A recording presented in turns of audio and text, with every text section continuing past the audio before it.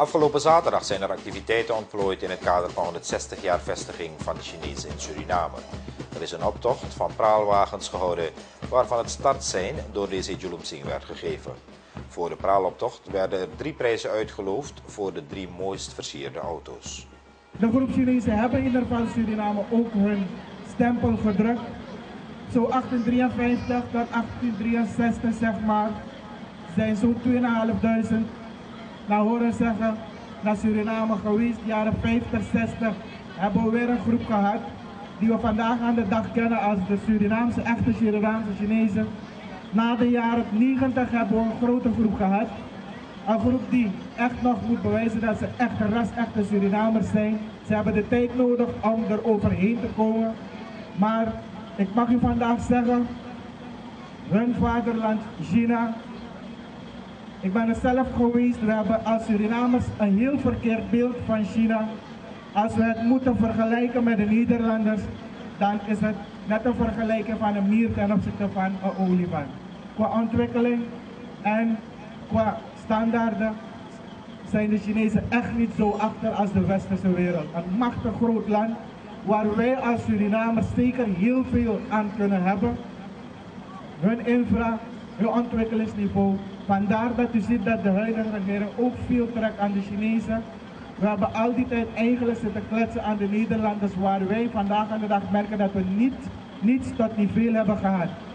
Maar allemaal, de Chinezen zijn heel ver doorgedrongen. Ze zitten in de medische wereld, in de onderwijssector, in de agrarische sector.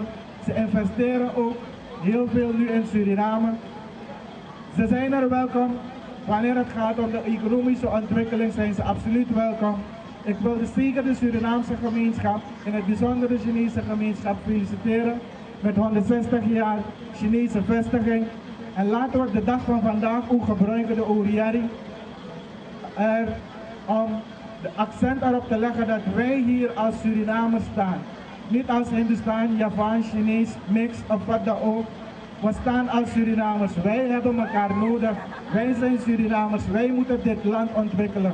Geen enkel land zal hier komen en ontwikkeling voor ons brengen. Wij moeten zorgen voor beter onderwijs. Wij moeten zorgen voor beter gezondheidszorg. Wij moeten ervoor zorgen dat we hogere levensstandaarden steeds halen. En dat hebben wij aan onszelf. Het is aan onszelf gelegen om dat te bereiken. Wij moeten broederlijk de hand in elkaar slaan en de ontwikkeling van dit land nastreven. Later op de avond was er een vuurwerkspektakel. Het programma werd gisteren voortgezet middels een lunch voor de Chinese gemeenschap en diverse genodigden. Ook hier was deze Julumsing één der sprekers, terwijl namens de Chinese vereniging ook een vertegenwoordiger het woord voerde.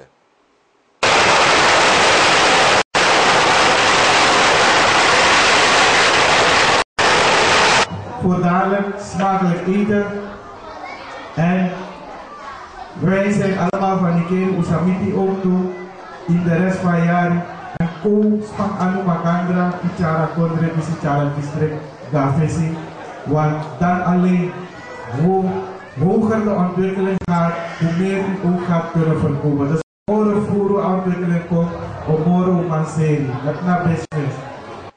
Voorafgaand hieraan werden ook bejaardentehuizen en ook het kindertehuis Open Poort voorzien van een maaltijd. Vandaag zijn het Zuster Dankercentrum en het kindertehuis Gayatri aan de beurt geweest.